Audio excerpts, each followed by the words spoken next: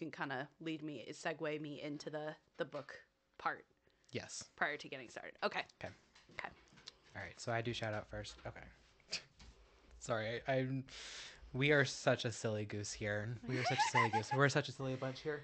And that bunch is filled with two people and one dog, and our names are Jaron. And Heather. And we are your hosts of Typically Divergent Podcast.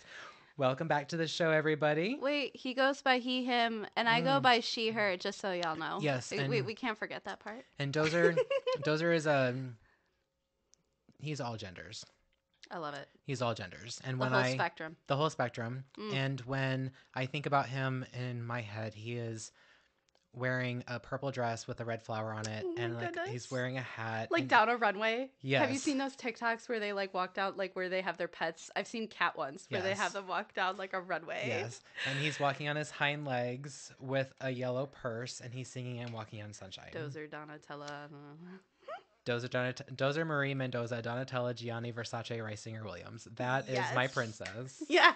So welcome back to the show. If you are no, if you are not new, if you are new, well, bless this lovely mess.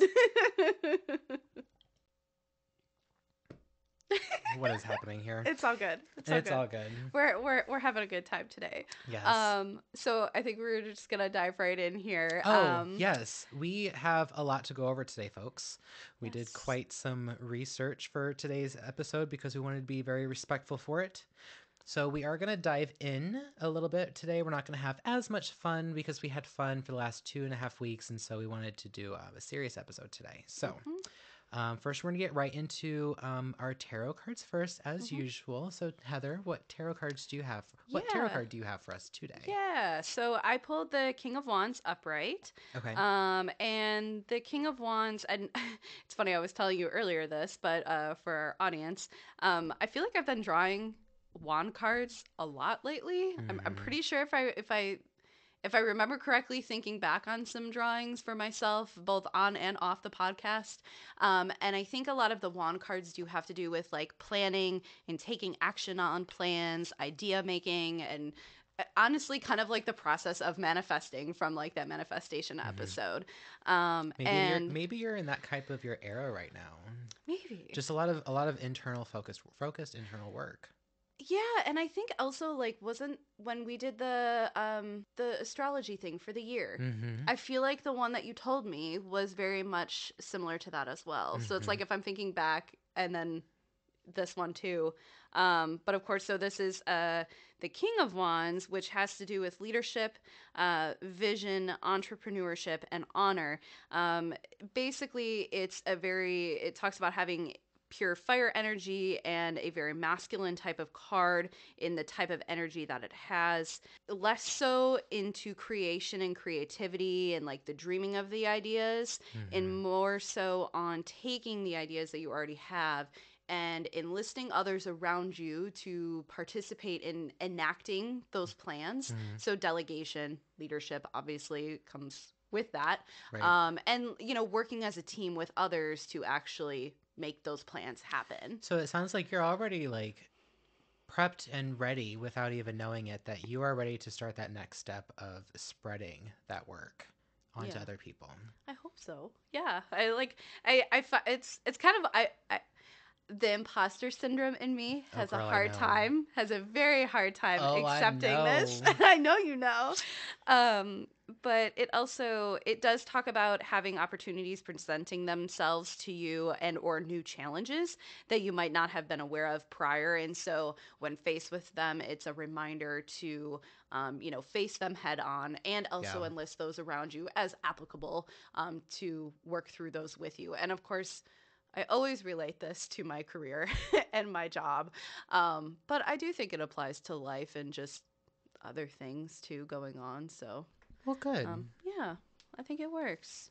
Um, and we are trying something a little bit new. Um, we're going to switch back and forth. So I'm doing a tarot card today for this episode. And then we're going to switch that up with our mental health as well, especially since we do also have so much to talk about. So that's our tarot card section for today. Uh, Jaron, how's your mental health doing today? Well, it's really interesting that today would be the day that we'd be recording and my mental health is at its peak for this week because Nice. it was so fucking terrible this entire week because the weather's been so Mm. crappy.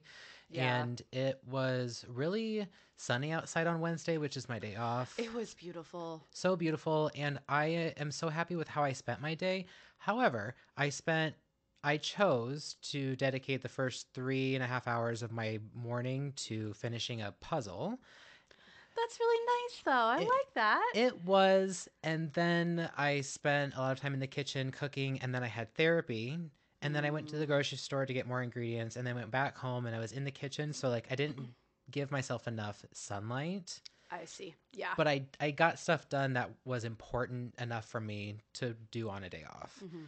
Um, and things with therapy were really great. Good. Um, we talked a lot about TikTok and how I'm feeling about that, and a lot of reassurance. And um, like I've told you guys, like I don't know if I've told it said this on the podcast, but I know like I've told Heather, I found myself becoming unhealthily obsessed over numbers and likes and basing my self value in social media interactions and i know that that is like a new thing for like the newer generation of teenagers uh, like that's a, a, a problem for them and i did not want to dive into that Mhm. and so she was like well you are trying to like grow something so the amount of time that you're putting into it is healthy as long as it's not debilitating you if it makes you feel better to go check something then check it but it if it's going to drive you nuts all day if you're going to get a if you're not going to see something that you like then don't so she's like you have two options every time so just choose whatever's best Yeah. so it's been nice and i'm still having fun with it and um but yeah like i feel like i'm on the upswing right now and good. yeah. Yeah. so thanks I- for asking I get what you mean about the weather too. Like, I I definitely get the seasonal affective yeah funsies. the saddies Um, yeah. seasonal affective saddies Yes. Um and it's it's so hard especially when you do get a warm sunny day in the middle of what really is still winter. And even early spring when it's still cold not to like put that pressure on yourself to like force yourself to go outside and do things, but it sounds to me like you actually still had a really nice and productive day. yeah It's just that almost like seeing that made you feel like, "Oh, but how come I didn't spend my day this way?" yeah And like remind yourself that it's okay not to put that pressure on yourself. Yeah. Yeah. because i can still get some sometime sun time you know they say like what 20 minutes a day Yeah. i would i need like 20 years Yeah. like just put me in a just put me in a happy lamp Yeah. so Yeah. Oh my gosh, I need my own little happy lamp. But one that doesn't also give me skin cancer. Like, you know, like tanning beds they and all? stuff. Well can you just get a happy lamp like uh, just a lamp that has like that vitamin d without giving you the uvs Yeah, I think there's ones that like people in the office, like in offices, have them, and like I, I think like people at work, you know, like it, it became like a thing in like 2020. And it was like find Mhm. some ways to make yourself happy. yeah Um, but I feel like they're kind of questionable as to how well they work. I will admit, from the small amount of tanning in tanning beds, like I did not do a lot. I did a small amount, and I did it in very short stints because I burn very easily, and when I would travel, it would help me not to burn as much.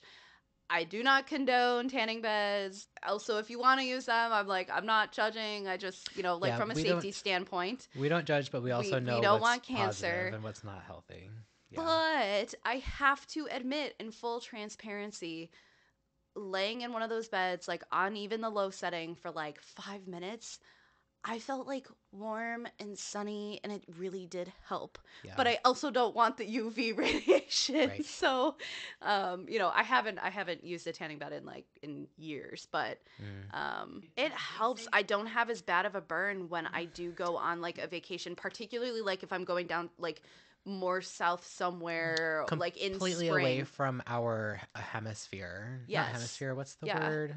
Um, ozone. uh, like region, just like yeah. just region, la- Yeah. lateral, your your latitude, where yeah, your latitude with, is. With your launch, longitude, latitude. your I think I think you're latitude going. is You're going closer to the equator. Someone, someone with a lot of uh, background in this, educate us. But I'm pretty sure We're just white. I'm pretty sure the sideways are latitude. Yeah. yes, they are because I remember a teacher saying, "Remember latitude and fatitude."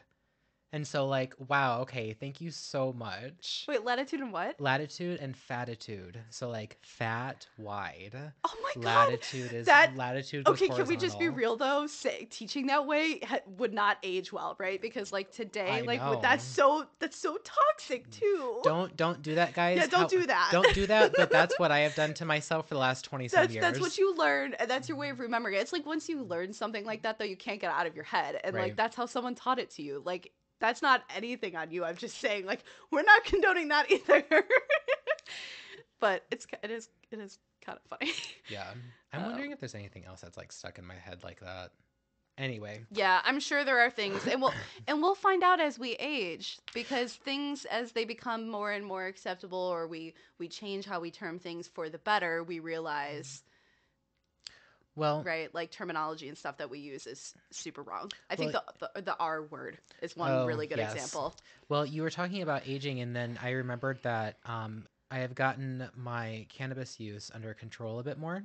I have been able to remember a lot more of my childhood, and I get like these little pockets of Mm. weird information and memories that I'm like, Mhm. oh wow, like either, and it's been like good and bad stuff. Mhm. but it's also like, oh, so that's where some of that little trauma comes from. yeah, Or like, oh, that's why I've enjoyed this specific like meal Yeah. or um place in Fort yeah. Wayne. Well, that's good. It's like it's good. You, uh, it's hard if it comes rushing back or in a way that you don't want to experience it. That's Oh, right. obviously where therapy comes in. But Right. if it's in like a more positive way or it's like slow in a way that you you now have the uh the tools to process it in a healthier way I, I feel like that can be helpful Right. Well, and that's another thing to increase my mental health recently is the fact that I'm remembering so much more Mhm. that I I truly wanted to probably forget. Um Anyway, I, my choo choo train just stopped. that's that was okay it. i started to think hey uh, you know we were gonna shorten the chit chat section and then just like the two peas in a pod two peas and two We're doing fine Two on pe- time. two peas in the adhd pod Two peas in the ADHD pod, which we- are also I yep. uh, Sorry, that that would have been a great segue into the disclaimer for this week's episode. So let me go ahead and just say this really quick. yeah, quick. go ahead. And actually, what? Okay, tell us please also what this episode is about because I I think that's important. Oh well, actually, we need to we owe a shout out to our hundredth follower on TikTok. Oh yeah, and then I'm and then um we can be the Yes. silly peas in the pod. Um, real quick before we get into today's episode, we do want to make um a shout out for our 100th follower on TikTok because I did say that I was going to do that, and I wanted to make sure that if that person is now listening, um, and I told I think I told them that I was going to. I don't fucking know. Anyway, but I did say I was going to do it. So uh, congratulations to at the Rusty Coke Can. okay.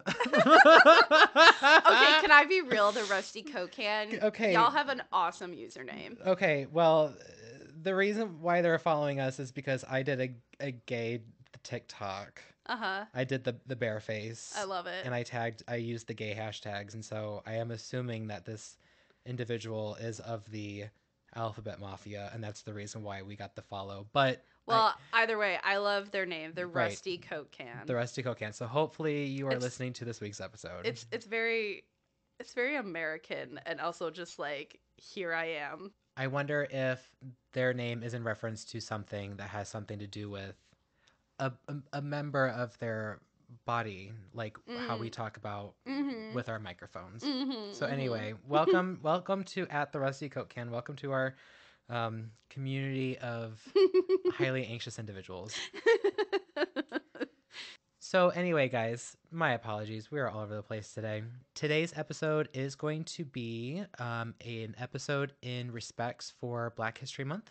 We had asked the audience, you guys, a couple weeks ago, if there were any um, overshadowed stories or individuals or parts of history that we should look into instead of um, reciting the same stories that we have all been at, told about, hopefully, um, like Martin Luther King or Rosa Parks. Mhm. Um, so in to be respectful of that community, we do have a disclaimer for today's episode. And um, Heather and I would like to make a point to let all listeners know that we acknowledge and have checked our own white privileges. Because we are supporters and allies of all minorities, we understand that we did not nor will ever live the quote black experience that a significant amount of individuals have or will have to endure in their lifetime. We fully understand that we are just two slices of Wonder Bread on I this podcast that. platform. I we mean, are it is melanin challenged. We are we are melaninly challenged, Uh, so we understand that we with this plat- podcast platform speaking on behalf of the community that we are not a part of, but that doesn't mean we can't give respect to where it's due and to continue to educate people on real historical happenings, especially the ones that get swept under the rug or whitewashed. Which I mean, uh, come on, if you live in America and if you are not blind, we all know that it most of those stories are all in favor of the white man. hmm In respect for Black History Month, today's topics will be over hushed history for the Black community, and we will continue to defend minorities until people of all shapes, sizes, and colors are viewed as actual people. So, um, we have a few different things to talk about today, um, but one of the things that we wanted to talk about in the beginning and sort of relates to um, the topic of Black History Month, um, people of color, um, and also other marginalized communities, though, is there is something really important that has been in the media a lot lately, um, has come up in the news. I know when we have chit chat sessions, sometimes I, you know, bring up some of my own passions about things that are happening around in our country and the world, and I I thought it was important to put into this episode. Um, and Jaron and I kind of talked about that. In relation to this episode's subject matter, many of you have heard about the rise in book banning around many more conservative states of the US, with Florida and its governor at the public forefront. For more local listeners, particularly of Indiana, yes, there are actually some banned in Indiana, particularly Carmel, Indiana, over by Indianapolis. Shocker. What a, what a fucking shocker. Do you know what sundown towns are? Yeah, I lived right there for a part of my training They're like career. A1 veneers white in Oh, Carmel. oh, a hundred percent. And when I, when I It's like creepy. when I had just learned about what sundown towns were and I did some research and stuff, Car- Carmel, Indiana, of course, like hmm surprisingly, Fort Wayne ha- was not one, but Carmel, Indiana Mhm. was. yeah, it's it's it's kind of it's kind of creepy. Yeah, Um, it's Because it's a it's very such- nice, beautiful place, but like, like I mean, wealthy I uh, but yeah, but I'm there. but I'm a white person, right? So Right. I I lived around there for a little bit less than a year, but during part of my training for my school stuff. yeah, Um, but yeah, so I did want to mention that. Um, they do have some banned books. Um, I am bringing this up because some of these books are even simpler children's books that highlight the culture and representation of the Black community, as well as other people of color and marginalized groups, as I mentioned. This is a dangerous trend that was also prevalent in 1930s Germany to promote a nationalistic and certainly a white supremacist mindset. Obviously, this is anti progress for human rights. So, as we can imagine, this is why I thought that talking about this would be good for this episode. Um, so, in relation to that, um, I wanted to bring to the table some resources.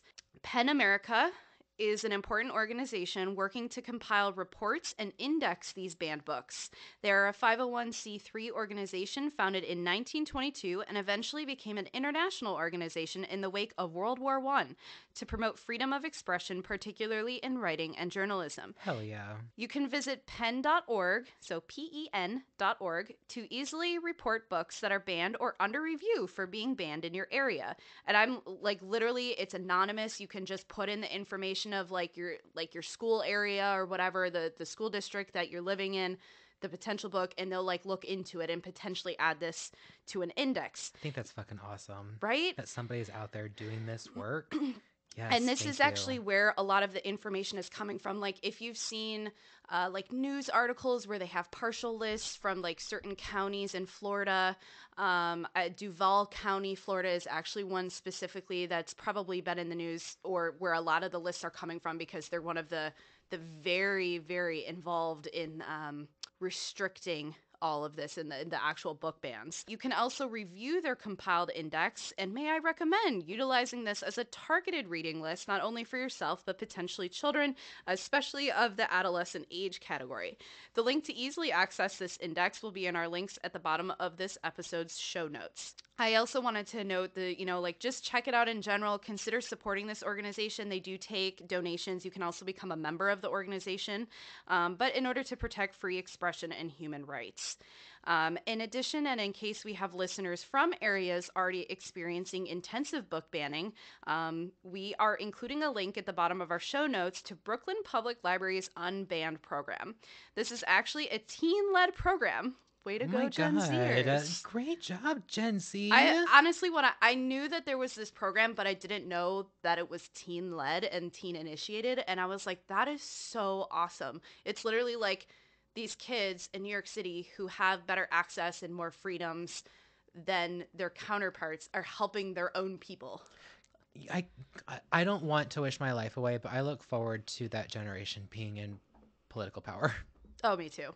Me too. I mean, I feel like millennials are losing their, even some Gen X, but some Gen X as well as millennials uh, are really losing their opportunities to lead in this country because the older boomer and even silent generation because oh my gosh some of those politicians are decrepit. They're like in their 80s man. I mean biden is in his 80s even. Yeah. um no offense but like i'm just saying and i'm not saying he's bad or, or anything but like in general there is a point where you truly need to pass things on to people who actually have investment in the future of the country. You're also going to be dying in like three years, so why does it fucking matter what kind of rules I almost feel like there's pass? implicit bias. And like when I'm that age, like I also shouldn't be leading things. I should be just like enjoying my last years and let the other people like do it, you know? you know, Courage the Cowardly Dog. I just imagine you as a Miriam. oh my god, I'm such a Miriam. oh my god, yes. Oh my gosh, and Spencer would totally be like, what's his name? Like just like the crush like he's like, I hate people. Eustace. Yes, he's Eustace. just like I hate people. So it's a teen-led program. Again, this is called uh, Brooklyn Public Library's Unbanned program.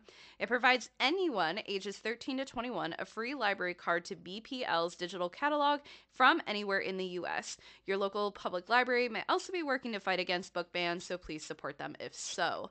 Um, but basically you can get a free electronic card if you're within that age group and you're in a band like a heavily ban- book banned area but really anywhere too. Maybe you live in an area that doesn't have a lot of access to um, or, or like a good library. Um, and the brooklyn public library is pretty dang good. Um, so you know check it out. And i think it's really important so Hell yeah. Thank you so much for bringing that on to today's episode, Heather. I really Yeah. appreciate that. yeah All right, everybody. So, um, again, remember our disclaimer from the beginning, and also please um, remember that I am not the greatest with research, and I do my damnedest. I you did a good job you guys Well, it's just how I'm going to present the research is going to be how my brain works. And it's also kind of like how they presented this movie that I watched and what we're going to be talking about today. Mm-hmm. And I chose to watch The Lowndes County and The Road to Black Power, which was on Peacock TV. Um, I understand that not everybody has every streaming service platform. It's more likely that somebody's going to have Hulu or Netflix. So the chances of everybody else having seen something on those services would have been much higher. But I chose to watch this on Peacock because um, voter pres- voter suppression continues to happen specifically for um, the black community and it has Mhm. happened recently within the last couple of years and there was that one politician i think it was down in georgia Uh, Stacey Abrams. Yes. Okay. So yeah. Stacey Abrams had to go and do her own canvassing and help getting people registered to vote, and the turnout rate was so fucking amazing. She's actually like a former representative at this point, and she's kind of gotten just more into the activism realm. She was a prior representative. okay. Um, I have a hard time remembering details on the top of, on It's on the top of my head, but she has tried to go for different positions within the state since then, and actually Yeah. for federal positions as a representative for Georgia. Right. Um, but she has worked tirelessly to increase um, voter turnout and work Yes. to help people get registered, which is really important. So, Yes, and she and she started doing it because of um, the one time that she ran and then saw the voter turnout and how little amount of um, the black community had been voting, so Mhm. she went and turned it fucking out. Oh, and she's also a lawyer, so she's a highly educated Hell woman, yeah. and I think that's awesome. Hell yeah, black women in power. Mm, awesome. I love to see it. We're just going to go ahead and, and paint you a picture here. So, this is Lowndes County, Alabama, and this is one of the poorest counties in the country, and it's unfortunately located right outside of Montgomery, which is the capital of the state. Population at this time was um, 80% black, and the county was so poor that some homes didn't even have running water. Okay, so we're we're talking like some serious poverty here. Interesting, because that's continued to be a, pr- a water access even in certain states. Oh have yeah, been an issue recently. Wasn't I can't remember don't if think- Mississippi last year they had like a giant break and they're like water and like j- it was just like they didn't give two shits about their people. It was terrible. Probably. And- I mean, just like they don't give a shit about the people out in Ohio with that burning of the train. Yeah. And Flint, Michigan probably still doesn't have water. I mean, don't quote me on that, Yeah. but I, uh, r- clean running water. oh, absolutely. There are no libraries in their schools, and most kids didn't even go to school for most of the year. Some even started working as cotton pickers as early as three to five years old. And so Oh remember, remember, folks, this is the ni- early 1960s, and oh, th- good so to know. this is yes. so this is around the time of um, segregation. Okay, but 1960s, when you think about that, like the It's Industrial long ago. Revolution happened in the early 1900s, where they then, like, in like the 1920s and stuff, they enacted rules and laws to protect from child labor, and yet, like, here we are. But like black children in the nine 1960s in Right. the South are like at the age of three to five still working as cotton pickers. Right. And the reason why they were cotton picking was because of the system called um, crop share, which was their modern day slavery. It's terrible. Um, and this was for the um, African American community that wanted to live on land that technically at one point had or still was being owned um, by white folk. And it was their way of paying off their rent essentially. And they were expected to maintain all of this land.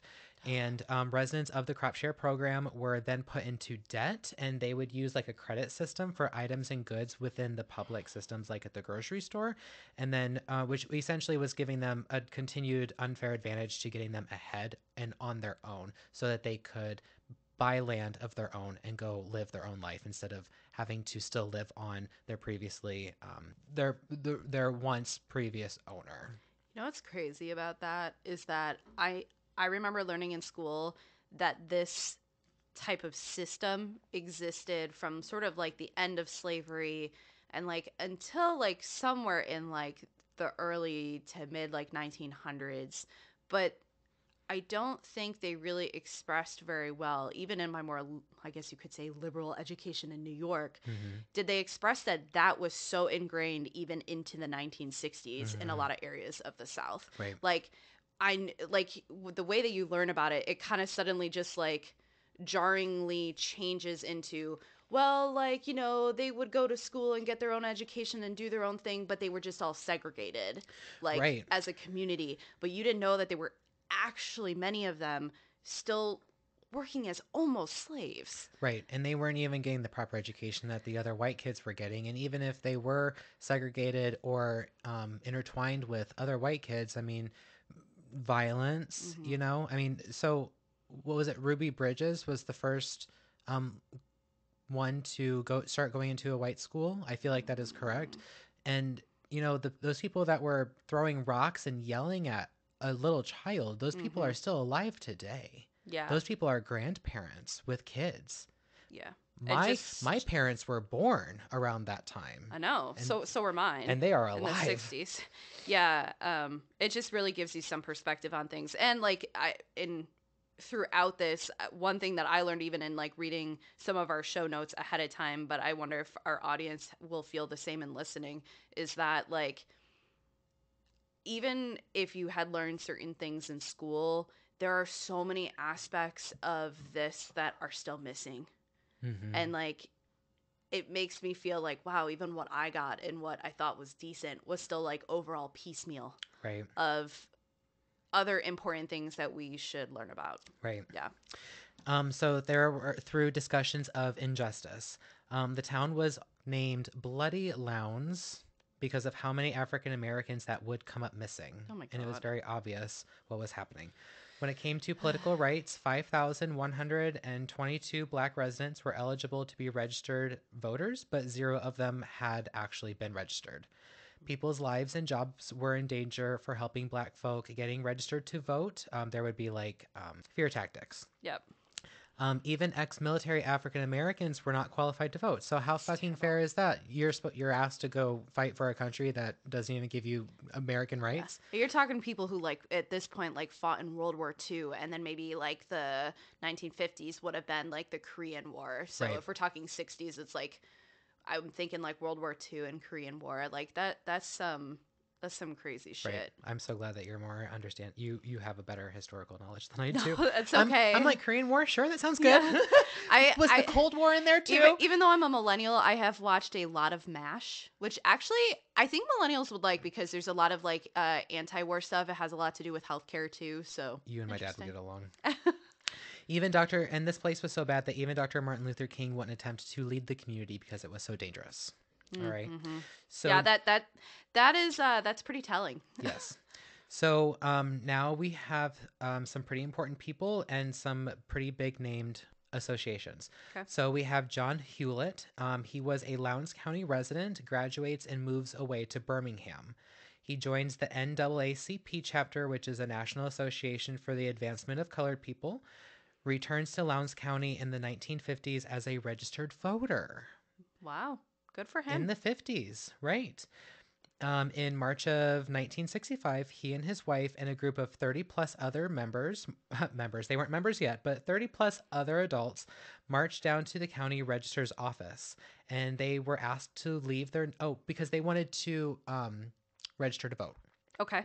So then the county clerk um, was asking them to leave their um, names on sheets of paper so that the officials could, quote, literally, this is from the movie, check to see who's pushing against, unquote, Wow. the white power. The lists. the lists. Uh, that creeps me out with just some of the current political atmosphere because there's a lot of talk of people like getting lists in places like Texas and Tennessee and Yeah. Florida and Georgia and like, uh, yeah.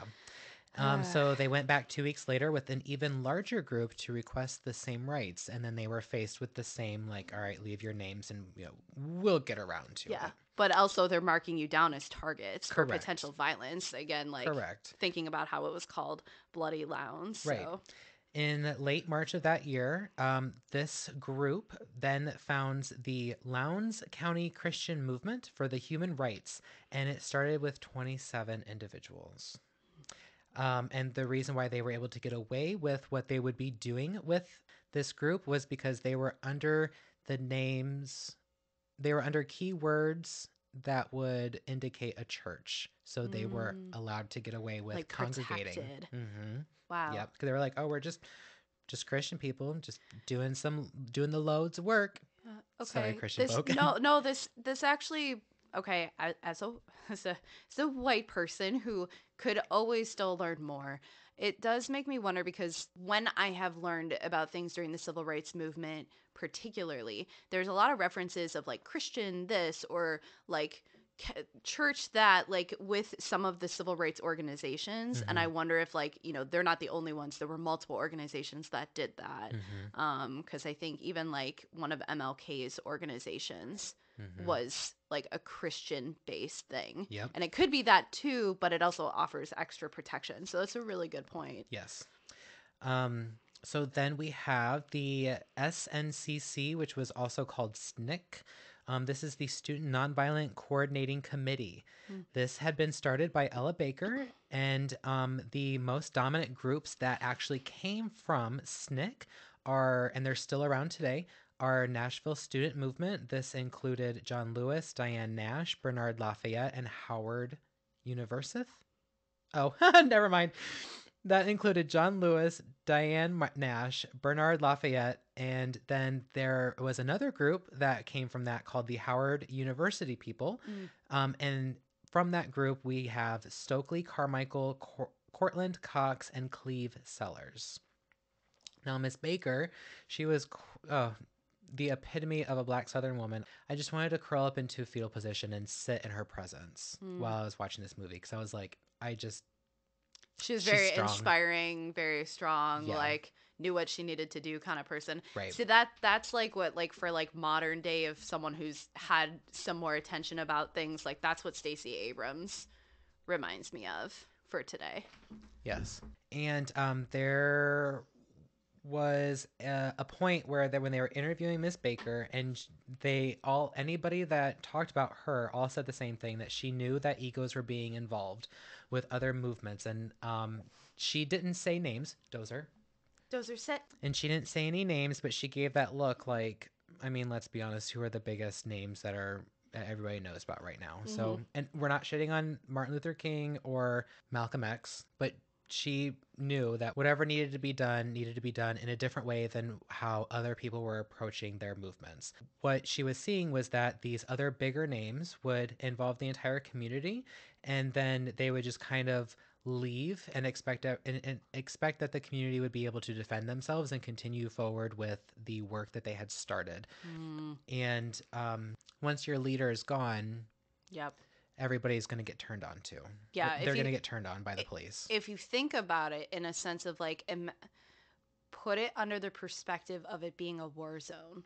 yeah. So like not to get super political, but like when we think about like when America leaves a foreign nation after being involved, oh, you talk what about happens? like Iraq and Yeah. Afghanistan? yeah, what happens? Because and we destroyed their system and expect them to fix it, but Or- like, hey, we don't know what to do. You guys fucked us up. or like Europe carving up Africa and parts Yep. of China at the at like at different times and getting into the opium wars, like all of that fun stuff. You know, when- opium! Yeah, when uh when people like do things and ruffle up feathers of whatever is going on there and cause chaos and then or like they think they've made an impact and maybe it's good at first, but then again like leave and leave the people that they're trying to defend but don't give the tools to the people that are staying there to defend themselves Correct. then we have a problem on our hands Correct. potentially and especially i think she she was probably right because this county sounds like it was extremely violent and extremely oppressive to the black community Yes. that lived there so Yes. yeah no i th- i think she probably had the right idea Yep. So then we have Stokely Carmichael, and he was a 23 or 24 year old um, veteran organizer, and he would lead groups to people. He would lead groups of people to go out into the public and essentially interact with the white people in power to get seen, to be heard. He was the first one who was not afraid to speak with the police, and has been quoted to say, "quote Arrest me or let me do what I have to do." ooh i like that Yes. And there was another gentleman that they were inter- interviewing, and they said that um, Stokely Carmichael would speak to them in a language that they understood. So he had more education. okay Yeah. Which is unfortunate that that's what it takes and that to me that's a little bit sad but Correct. i'm it's it's good that he was able to do that Yes. Um, so then Snick was then invited to Lowndes County and they set up a home base in Lowndes County in order to protect their local community. And Snick's goal was to move quietly and Mm, to stick around within the community and like an underground yes force. yes almost like an it. underground force um thus deve- and so they decided to stay and then they developed the freedom house which was their headquarters and then there's tent city which were the dwellings where snick members lived this Ah. was funded by money donated f- to the southern chapters from the northern chapters so like and like how heather was talking about like how we were taught with the history we were just kind of like hey guys like there was the war and then black people were welcomed into the community and that's not that is not how it happened segregation happened for like what 40 to 60 70 years Yeah. or like to the degree that the segregation happened. It's like we moved on to knowing about like you go from like the end of slavery, knowing that there was like some some sharecropping, and then you move forward like post World War II. Now we're gonna come back to this, and oh, there were Jim Crow laws and there was some segregation, but like Yep. the in between, and then also how severe it was. right Like, things were not black and yeah. white for them Yeah. Um, so it's not unheard of that there would be northern chapters um, within the U.S. SNCC would go to other towns to encourage and empower their local residents, and they would set up their mass meetings in different towns and would set up even educational classes like math, literacy, and teaching people how to do their taxes. That's awesome. Yes. Wow. If we we we need that more. Yes. So then we have the first major event that started to really anger the community and to give them the anger that they needed to feel empowered to move forward. So, Tom Coleman, a deputy sheriff, was employed by the state of Alabama to maintain a low level prison, pulled a trigger in attempts at shooting Ruby Sales. Again, remember the head organizer of SNCC in a Mm. local grocery store. Oh my god. Um, Reverend John Daniels, a white man, tried to protect her and was killed because he was Oh. he was an ally of this community. He was helping them. And remember, white people would be threatened if they got caught assisting people of color. Yeah, that actually happened to my grandfather. Yeah, he was in the navy, really. and like he would he would be stationed down in the south, and most of his friend most of his like navy friends yeah, were black people, and Yeah. it was like at a time when segregation was like fulminant, and Yeah. yeah, it was crazy. He's told me some stories. And then Father Richard, um, Morrisroe was shot in the back. Um, he was a black man. Um, he was out in the streets calling for help, and of course, nobody helped him. Um, the Mm. story, of course, was changed from murder to self defense by the news and the townspeople. Of course, it was. Of course, the town gave money in support of this man's defense because, quote, he stands for what needs to be done. Holy fuck! If that does not scream white power and people of color need to fear white people, and even white people need to fear the white power. This reminds me of freaking what is what's his name who got like off without any issue who shot people during the Black Lives Matter. Um, Kyle Rittenhouse. yeah, fuck Yeah. him. And totally reminds me of that because like uh, conservative people funded him and like were Yes. giving him like basically high fives. right. Fuck him. Right. And of course, Tom Coleman was found not guilty by, of course, an all white jury. Hmm, of course. Um, there was a quote within the um, interviews from a woman who was white. The implication of Ameri- African American voters meant the possibility of different people being in power. So let's take away all of this not so great qualities of these people and just understand that they are humans who are afraid of change. hmm That's understandable. But when you start to act out from your fears and you start putting people's lives in danger and killing them and not giving them basic human rights, then okay. Remember, guys, a couple weeks ago when I said I can't meet you halfway in the middle? Can't meet you halfway in the middle on that one. Yeah. Nope. Yeah. It's understandable to be afraid, but can't do that. Then in 1965, um, the voters' rights had been passed, but that really hadn't changed anything. The purpose was to represent the mass of the communities and to change in changing the people in governmental power.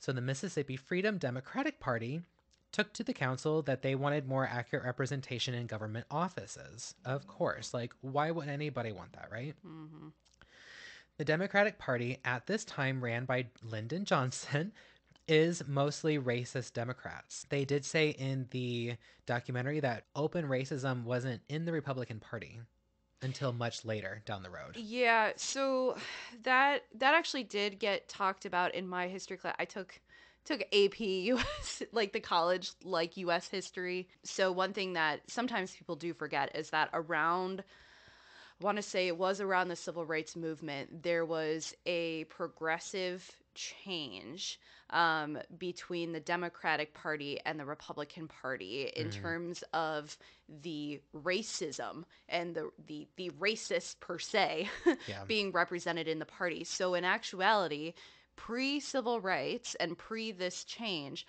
if you want to think about like who were the racists, who were the ones that were part of the South in the Civil War and wanted to separate and wanted to keep their slaves, that was actually Democrats. So that's Democrats. And Republicans were like Abe Lincoln were like those that was like the you know go. yeah, and then when it, I can't remember the exact details, but it has to do with um, like the urbanization Okay. like movements and when um, the black communities were moving into areas where like white people were living and like different things were happening with that okay. and like one of the parties i don't know if it was like the republicans like were like oh come to us or something and like I- can't remember. Like the Democrats actually started helping some of the black communities and then moving and stuff like that. And then there was like this switch. Okay. and there was a trickle down effect in the south where like up until maybe even like the 80s and 90s there were a few what what they call old southern democrats. Those are the people that like i think have finally died out when it comes to politics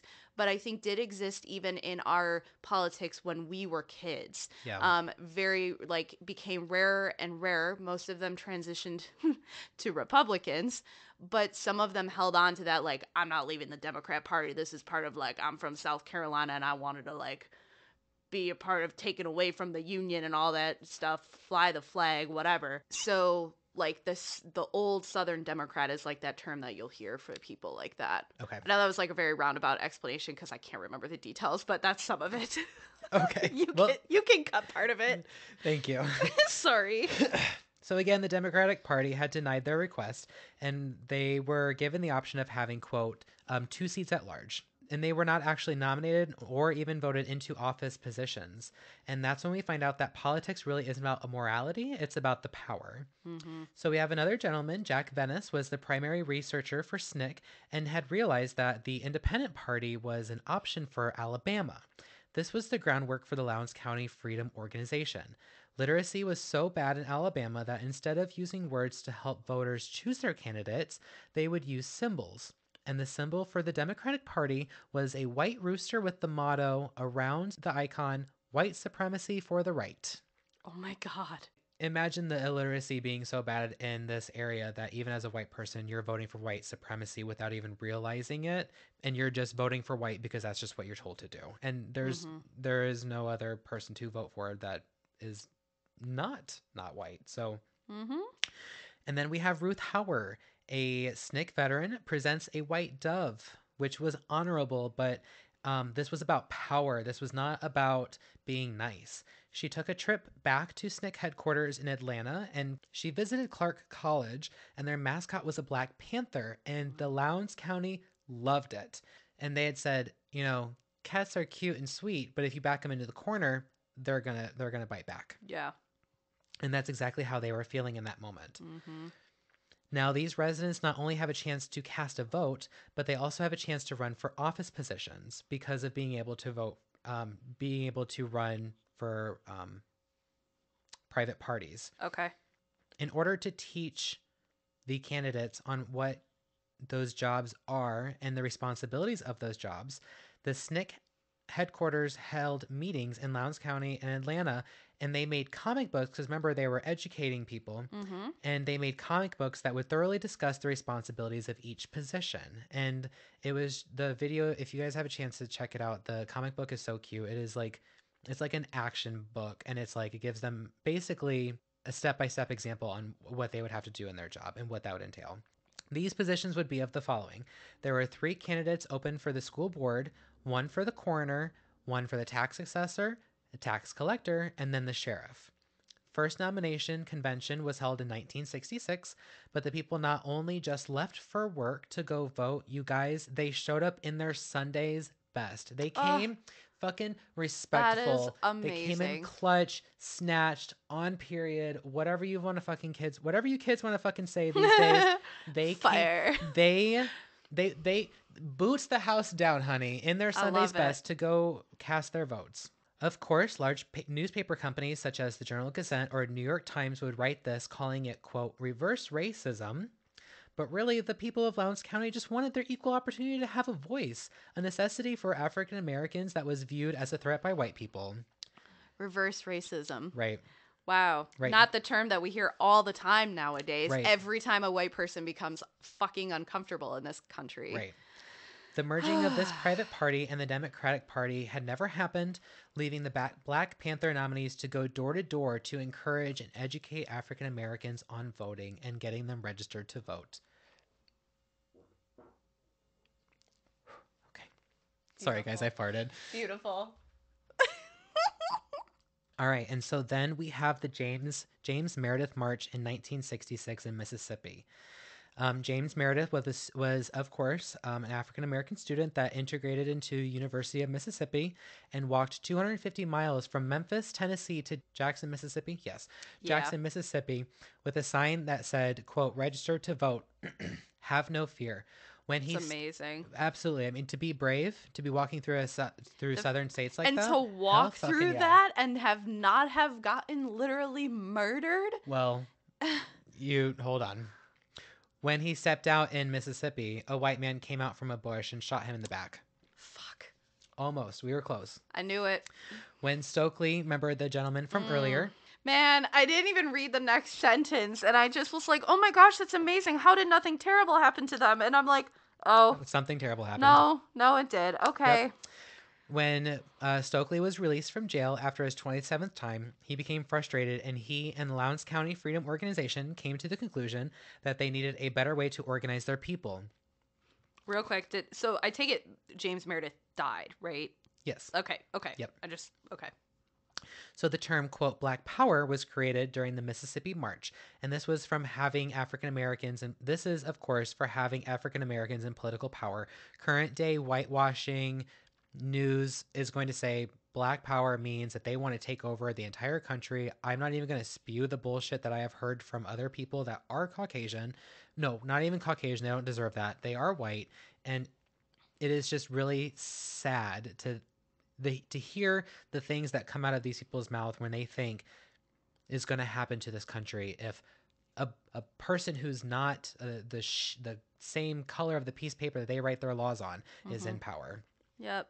Well, and I mean, it's kind of interesting. Like, it it actually does show that these people fear their own guilt for what the things that they have done because they're mm. afraid that they're going to be treated the same way that they treated them which is literally admission that you are a piece of shit because you have treated other human beings less than uh, worse worse than animals Right, you're quite Like- you're you're high key admitting. I love I, I learned that phrase recently. High-key, You're like it. high key admitting that you are treating black people like shit, and you're afraid that you're gonna get the same stuff back. Yeah. Like And ironically, you don't, but they act like they will or that they do, and that Right. becomes a motivating factor. Even today, even today. even today. Oh snap!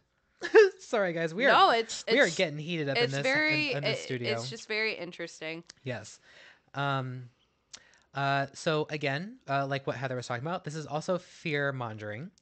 Party members in favor of voting for Black Panther Party were encouraged to go vote and then immediately go straight home. Stay away from the violence. Mhm. Get out of sight from the public's eye because you're safer at home. Just go cast your vote and get the hell out of there.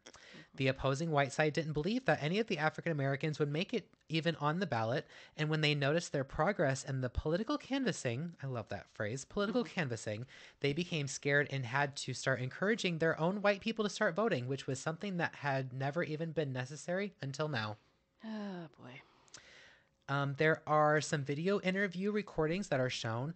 Um, the first is one of a black man who's surrounded by four or five white men, and the guys are almost using a form of tokenism, like the body language that I was getting from it, um, because they're like, yeah, like we're just we're just you know bunch of five gu- a bunch of five guys, we're just uh we're just we're friends here, you know. Look, we we have a black friend, we can talk. Oh we god. look at us talk to him so and so they're talking to him and they're like quote now you've been friends for now we've been friends for years haven't we and we've always been great to each other haven't we you know like who would you go to if you were in trouble the white people or the black people Oh my god, they're like gaslighting this poor black man like Right. on on on TV or whatever, like this video interview. Oh my god. Right, because like ideally in a, a perfect world you would go to the people who are on the police force but of course they're white and yeah, th- they're not today.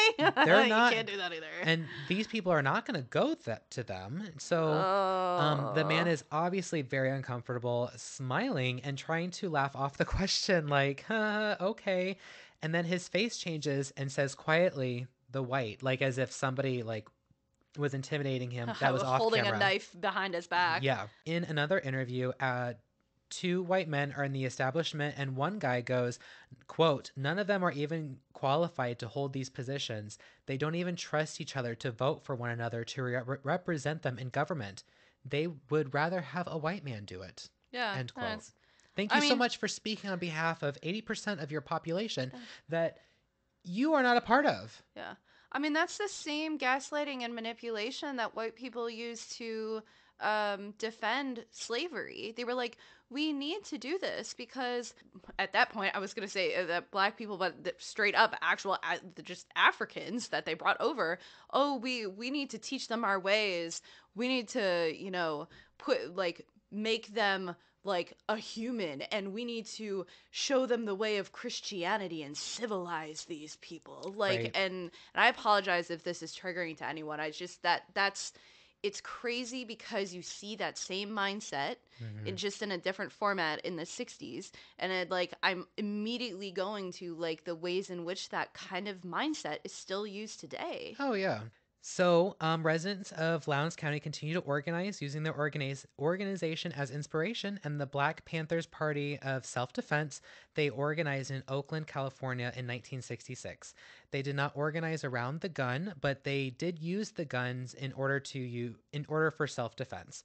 But in Oakland, California, they're using the guns to back the to get the police to back down and inspire the black protests. hmm Their main focus was to regroup the community programs, community survival, and to police the police.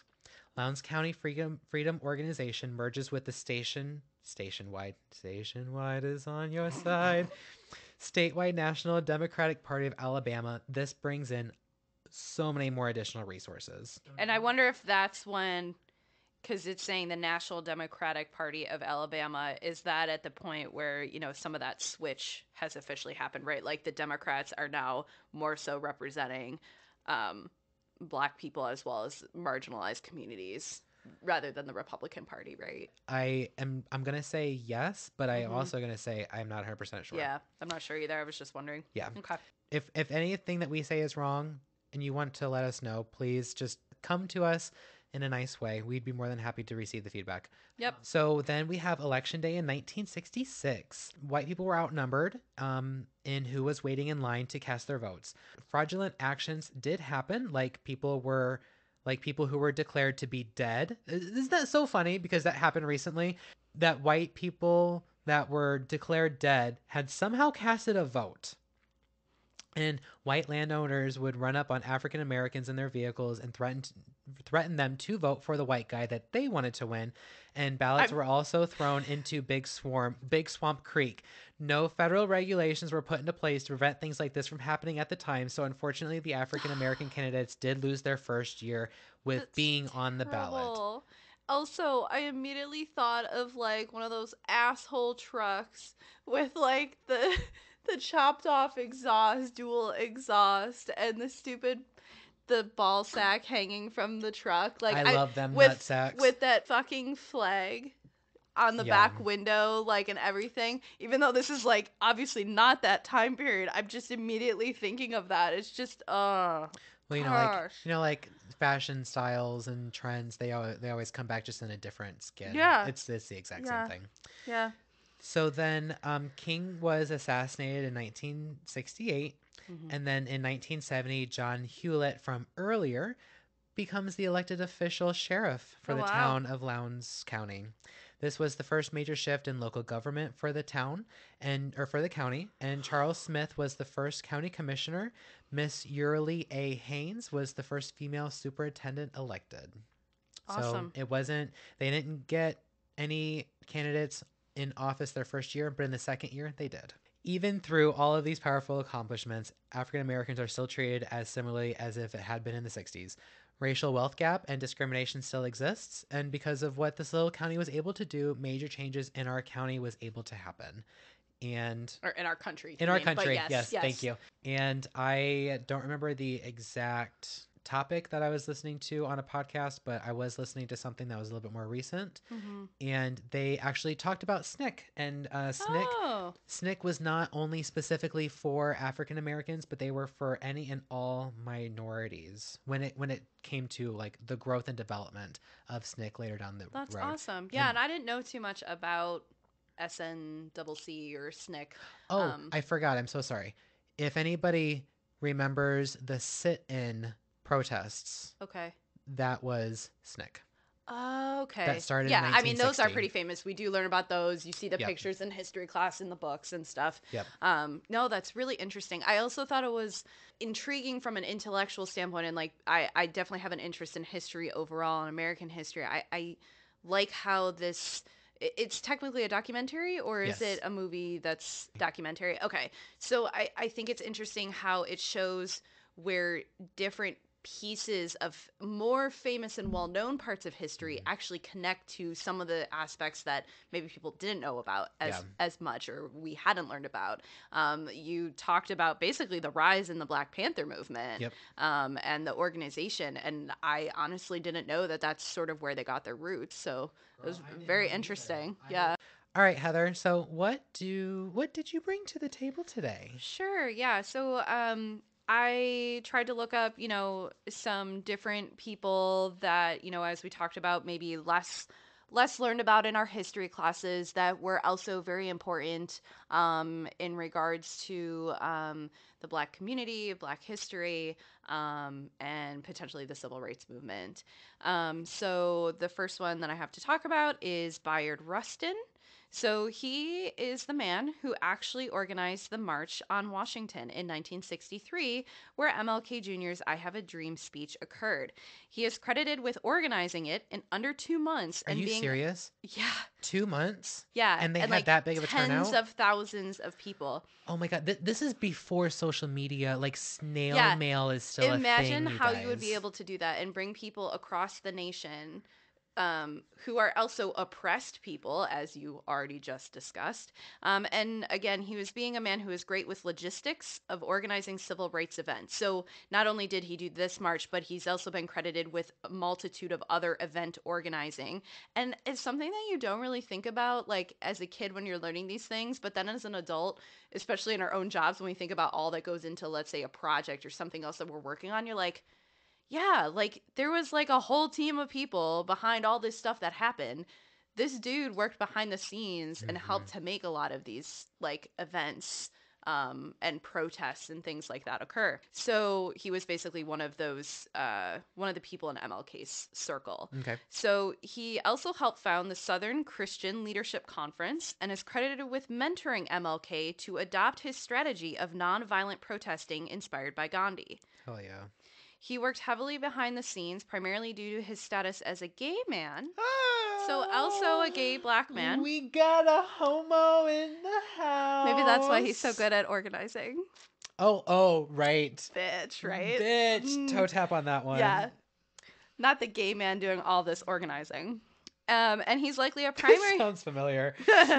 He's likely a primary reason why he is not as well known and not educated on even in high school history. Um, as we well uh, well know, um, you know there are steps currently be, being steps taking people taking steps today to fight against the inclusion Mhm. of uh, gay and overall LGBTQIA history um, being taught, even in high schools, where, like, you know, let's say people wanted to limit that in younger children, but even for Right. adolescents.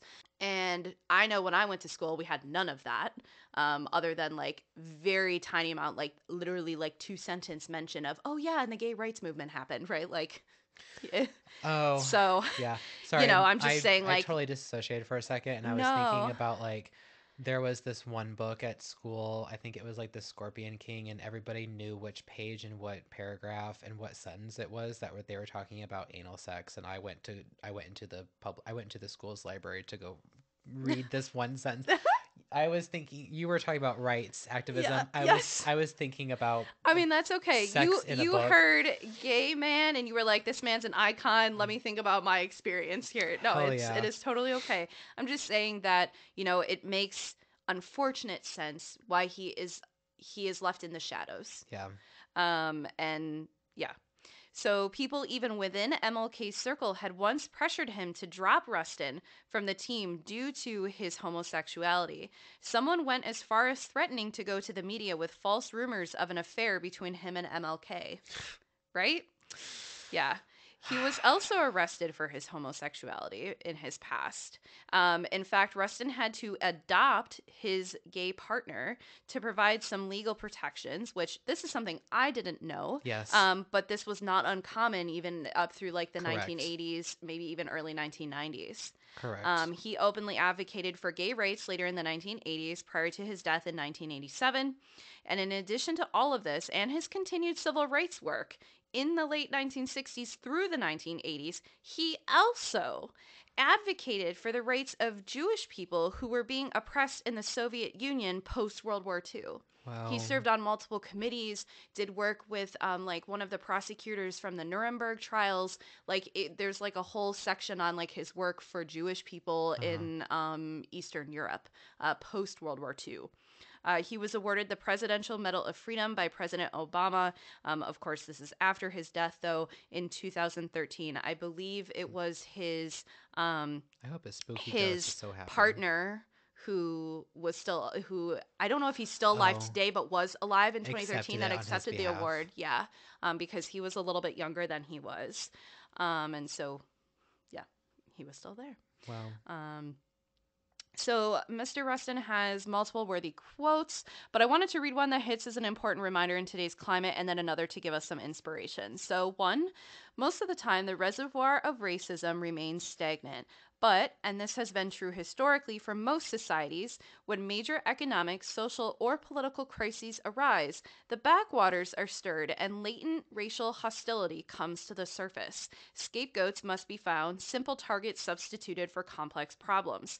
The frustration and insecurity generated by these problems find an outlet in notions of racial superiority and inferiority. I don't know why I'm getting so emotional right now. I'm not crying, but I can just like I feel a, I can feel the emotion like in my chest and it like wants to come out but it can't. Yeah. I I included this because I actually got teary-eyed reading that because I've actually had conversations with just other other white people and saying that I think that that actually is where a lot of the problem lies in the current racism that is still here today, particularly in the United States, um, and that that's what I, I do believe that that's where a lot of that comes from, Mhm. um, and in how um, people turn into those types of people, um, because you're not born that way, right? oh no. um, Nobody is born a certain way. Yeah. Um, You can fucking change anything about yourself. so that one, I just wanted to say that because I, I felt like it really made me think, like even as you know, as a white person too, and like how, like how does someone become so intensely racist, and like what were the things that turned them into that type of person? Um, and then he, the second quote that I wanted to share was, "We need in every community a group of angelic troublemakers." Oh my god, that is tattoo worthy. And I fucking love that because I think it really points to his philosophy. And he is the one that is behind MLK's uh, belief belief in nonviolent protesting and um, nonviolent ways and democratic processes to get the things that you want done and the changes that need to happen. And so the word angelic representing like that peacefulness, Yeah. um, but also you know, troublemaker in the sense of wanting to make the change. And I just, I don't know, that gives me hope that, like, even though I feel like sometimes when I just like talk about something on Facebook to start a conversation or even on our podcast or, you know, okay, I'm voting or something for changes that I want to see, sometimes it feels like nothing's working or nothing's happening, but like maybe it is. Yeah. You know, like you got to keep trying and you got to keep working on things and organizing stuff and getting involved in things. And it doesn't also have to include violence either. Right. Um, and then the second person that I wanted to talk about goes in a little bit of a different direction. Um, and this part is about Dr. Vivien Thomas. Kind of felt close to my own passions and the things that I have done in my career. So, um, this is an important uh, member of the Black community who was involved in medicine and Okay. healthcare. Um, so, this is Dr. Vivien Thomas. He was a major contributor to the first surgical technique to repair tetralogy of Fallot. Um, for those who. Explain to me Yeah. like I'm five. I, I literally had to sit down and be like, okay, how do I explain this to our listeners who don't have um, medical or healthcare related degrees, right? Right. Um, so this is a fourfold plus uh, congenital or heart defect that is often diagnosed in newborns where the deoxygenated or oxygen poor blood is shunted to the aorta, that's part of your heart, for distribution to the body and its organs. This can make babies appear blue due to cyanosis or lack of oxygen, and hence its historic term, blue baby syndrome. Blue baby. Sorry, I had to do that. No, that's that's okay. My baby blue I'm like- baby. I don't want to make you feel bad, but like I'm about to go into a sentence that says I'm sorry. So uh, me, it, you know, I'm sorry. This part's sad, but the congenital heart defect was historically fatal Yeah. um, because there was no treatment for it, and naturally you are um, sending blood without oxygen in it to the organs. Um, but thanks to the work of Dr. Vivien Thomas and his colleagues, um, and those who developed additional and improved techniques later on down the line, the diagnosis ha- now has a greater than 85% survival rate with surgical repair. The surgery is still major. Um, you do have, like, babies have to go to, like, specialized heart centers and things to get it done. Um, but the mortality involved with the procedure is much better than it even used to be. And the, um, the ability for these babies to survive long term into adulthood exists. And that's awesome. When did he and his team um, develop this technique? In the 1940s. Holy shit. Yeah. Hold down. Scrap the wall. Wiggle Wiggle like your ass make your ass fall off. off. Gasp it off. Gasp it off. Okay, off. TikTok boy. Damn. Oh. What? Remind, remind me, I have a new vocal stem. Okay. I, am gonna. I'll, let- No, it has to happen. Okay. Okay. okay. Dumb ways to die. and I wanted to say in this, while we were talking about present day ra- racism, dumb ways to live. oh wow, I love that, I, and maybe that's a way to. Okay, side note, and then we're gonna have to cut this.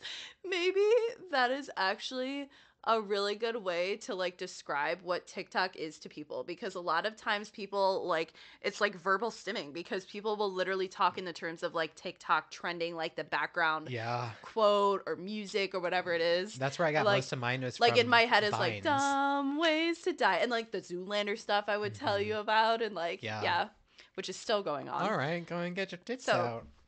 So yes, this this happened actually in the 1940s. Um, but briefly, just to speak on Dr. Thomas, he was the grandson of an enslaved person born in Louisiana in 1910. He unfortunately lost his college savings during the Great Depression and was unable to attend college nor medical school. He was coded as a janitor at Johns Hopkins, but he actually became and worked as a scientist and mentor to cardiac surgeons Fuck yeah. right? He did not get a medical degree, but he was a mentor to cardiac surgeons. Um, he began working as a lab assistant to Dr. Alfred Blalock at Vanderbilt University, but immediately started assisting Blalock in surgeries after um, Blalock had noticed um, how good uh, Thomas was with his hands and his dexterity. He was he worked at the level of a postdoctoral researcher, although sort of unofficially, under Blalock's guidance regarding hemorrhagic and traumatic shock. When Blalock eventually moved on and became the surgeon in chief at Johns Hopkins in 1941, he made Thomas his surgical assistant during a time when the medical campus was also still segregated. Pop off, Thomas. Yes. Choo-choo. This dude is incredible. In fucking incredible. So, over the next couple of years, Thomas and Blalock researched surgical solutions to the blue baby syndrome at the request of Dr. Helen Taussig, um, who was dealing with the issue as a uh, cardiovascular member of the team at Johns Hopkins. Okay. Um, using prior failed research on vascular surgery techniques to treat hypertension, they developed a shunt to increase blood flow from the heart to the lungs, also today known as the Blalock Thomas Taussig shunt. Oh, say that six times yes, fast. or BT shunt for short. the Blalock Thomas tossing shunt. The Blalock tossing tossing shunt. wow, on the second try, fucked it up. ti- gotta love those medical terms, right? So this was first used in 1944 when Thomas coached literally coached Blalock over his shoulder Wow. during the first procedure um, on a human baby. Thomas also specially customized the needles for that procedure for the infant size. Jesus Christ. The shunt procedure became internationally famous in 1946. Oh, well, first before that, um, I wanted to mention that like they talked about how like people traveled from all over the world to watch them do the procedures. Yeah. However, there was still so much racism that like people had a hard time accepting that Oh, of course. Thomas was involved in this. Like people looked to Blalock first, Right. and oh, and like like they were um, seeing right through Thomas. yes, absolutely. Yeah. Um, in 1946, Thomas went on to develop an atrial septectomy technique for what is now called transposition of the great artery. So, just for perspective for other people without going into that too much, um, transposition of the great arteries is an extremely serious congenital heart defect, Hmm. similar to trichology of Fallot in the sense of it. I mean, if you don't fix it, you're gonna die like the kid's gonna die Yeah. um, it, it requires significant uh, by like different kinds of bypass surgery things like that again sort of similar um, but different specific anatomy issues than the tetralogy of Fallot Yeah. um, after he developed this technique, Blalock is quoted as having looked at this and stating, This looks like something the Lord made. Hence, Obviously, an angel did, honey. Yes, hence the title of a movie about this story called Something the Lord Made from 2004. I know it's available on HBO Max. I believe it's also available on Prime and Hulu. Um, and then there's another documentary about this whole thing. Um, Dr. Thomas, as well as like his partnership with Blalock, um, called Partners of the Heart. Wow, that's so beautiful. Yeah, I saw some scenes of um, something the Lord made, and I watched a scene where basically Blalock was like paging, you know, Thomas, Vivien Thomas. They wouldn't like they they were only allowed to use the page system for doctors, and he Yeah. wasn't coded as a doctor, so the lady was refusing to page him overhead, and so he took it from the lady's hands, paged him. He was in the cafeteria, brought him over, and like the parents who were like so scared about their baby after like you know thinking that the baby's gonna die because they have the the blue baby syndrome Yeah. looked at thomas and was like oh my word like because he's black. Right. and then like people um in the In like audience watching them do the procedure Mhm. were like livid that he had come to help with the surgery Oh, and we're like we're gonna have to talk about this. Hey stop the procedure. While like the kid is like literally in active surgery. Like it was it was crazy. Um but anyways um. In light of all this and in speaking of you know the scene it's important to remember that thomas was not formally a doctor was at one time considered a janitor at johns hopkins and then finally a supervisor of the surgical laboratories but never actually a surgeon. He faced segregation on campus for at least part of his time there. In 1976 he was finally awarded an honorary doctorate by johns hopkins school of medicine and named an instructor in surgery. Wow, that's beautiful. yeah he so beautiful. he did a lot of work and he is now recognized for the work that he had done um, for pediatrics as a whole as well as uh, cardiothoracic surgery but yeah Sorry, you said whole. Oh as a whole with that w whole with a W. Thank you so very much for bringing that to our attention, Heather. I really appreciate that. That was a really beautiful story. yeah i thought the scenes from the movie that i had seen were pretty good too Yeah, um, that's definitely something I'm gonna have to look into. yeah i need to actually watch the full thing Yeah. So what? Did, so folks, what did you guys think? You know, did you learn something? I know I sure as fuck did. I I did too. I I couldn't stop myself from researching. I kept looking up more people, and I'm like, we have a limited time for this episode. I can't keep doing this, but Yeah, Yeah, Heather was like, I've got like three or four things to bring up. What's what do you think's more important? And I was like, I think these are going to be some good options here. Let's talk about these. Yeah. Especially when you brought up the doctor one, I was like, that's I mean that's in your wheelhouse. Yeah. Of, of, of not Heather's not a surgeon, but because of her career, I think that would be great. Yeah. So yeah, I the the biggest thing that hits me with that especially is imagine okay, so like we talk a lot on this podcast about how like end stage capitalism and how like the day to day sometimes can suck. I've talked about how I do have a passion for my job, but sometimes, you know, like you're getting burnt out, right? Yep. But then imagine on top of it, you do not get recognized for any of the work you're doing. You are treated like less than human throughout that entire thing, and yet you're continuing on to research for the better for humanity in spite of all that. Yeah. Like how incredible is that? And I'm not saying that that's like that's not to validate the trauma and the lifelong trauma that that man was put through in in being oppressed. I can't imagine having the motivation to do that in today's society. What if you were told that like you had to fight against all of that too, right? Like all of that. And so I think his story especially and maybe because I was more able to put myself in the shoes of someone like working in the in medicine and mm-hmm. stuff. I really felt that extra layer of what would it be like if I was oppressed to that degree, which I have never had to experience. Yeah. And so for me at least that story was was especially important because it gave me that perspective. Well, thank you. And Yeah. thank you, listeners. We do have one more thing to touch on before we end this in this week's episode. I do apologize. It is my responsibility to be up on up and current on moon phases, and I have slipped through the cracks on that. Oh, we we've we I think personally we've we've felt the moon phases as they've gone. Yes. So on the day that this episode comes out, the 20th of February, we are moving into a new moon. And um, this is going to be a direct quote. The last thing that the moon will do before moving into Pisces and meeting up with the sun will be to join forces with Saturn, the planet of boundaries and hard work. Completing its stint in Aquarius. Woo, Aquarius. Your emotional commitments and relationships to self discipline will be top mind leading into the ethereal new moon. Mm. Though this could set a bit of a heavy, serious tone, you'll do well to think of it as solitude, fertile foundation from which you can plant the seeds you want to see flourish. Remember, guys, um, new moons, setting your intentions on things that you want to work on.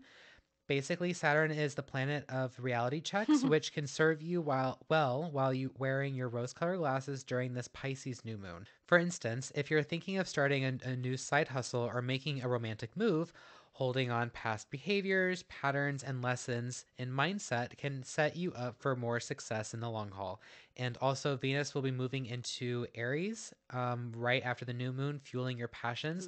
So there's going to be a lot of heightened emotions um, around the things that you care about. Specifically, what I read was like money, relationships uh, within yourself, and the ones that you are involved with. Mm. Um, Just trying to give it positive vibes rather than the negative side of the passion, right? Yes. So please do be careful. And of course, if you're listening to this after Monday, uh, whoops, sorry. So anyway, thank you so very much, everybody, for listening to our episode and being a part of this important topic this week. We really appreciate it. And remember, you know, we're not an education podcast, but we like to do some education. We want to encourage everybody to have these tough conversations and educate each other ar- around you. And I know that's tough, um, but together we can do it because we believe in you and your big sister Heather and your big brother Jaron. Well, I actually I prefer that we're like mommy and daddy. So your your mommy and daddy, we're here to encourage you to do those things. So Heather, I love you so much. Jaron, I love you too. I gotta go pee. And listeners, we love you guys. And uh, don't forget, if you want to interact with us, you can do that by visiting our link tree in the description of this episode. And all of our resources can also be found at the very bottom. Um, so, yeah, thank you so much for listening today, guys. Um, you'll hear from us next week. We love you so much. yeah, love you guys. And this is us signing out. Bye. Bye.